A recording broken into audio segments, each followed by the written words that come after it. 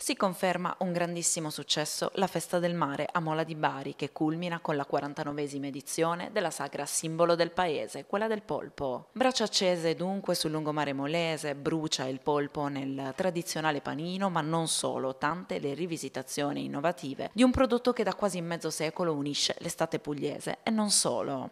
Un evento completamente rinnovato, abbracciato nella più onnicomprensiva denominazione di Festa del Mare. L'idea infatti è stata quella di abbracciare tutto il patrimonio di Mola di Bari. Rinnovata anche la partnership ufficiale con la Compagnia del Trullo, l'organizzazione no profit di Conversano. Una tre giorni non solo dedicata alla gastronomia locale, ma anche alla musica, all'intrattenimento e all'arte. Dai ai Santi Francesi, reduci dal successo di Sanremo